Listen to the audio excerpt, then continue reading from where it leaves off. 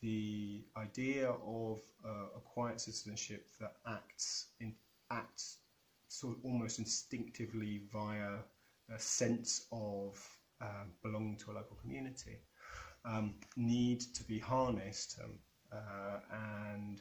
and, they speak to the, the, lack of resources that we also found uh, at local level very often um, in amongst these the different crises that we identified across the four cities. And so, so national level um, funding we recommend should be funneled into those forms of local um, citizenship.